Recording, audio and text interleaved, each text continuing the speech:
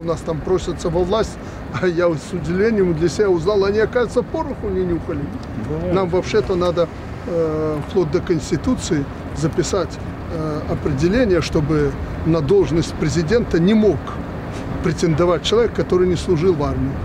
Ну какой он ко- главнокомандующий, если он не знает, что такое армия? Смешно будет, если он приедет и будет что-то Ну, конечно, будет рот раскрывший ходить, Так ты ему лапши на уши навешаешь, ты скажешь СВД, а он подумает, что танк. Мы Типа сейчас работаем над законом о государственной службе, то есть мы хотим государственных служащих довести до уровня военных. Ну что, а чем госслужба отличается от военных? То, что она даже порой важнее. Они же хотят командовать армией и так далее, поэтому госслужба должна быть соответствующая. Ну, а для президента не служил в армии, значит, там тебе быть не, не должно.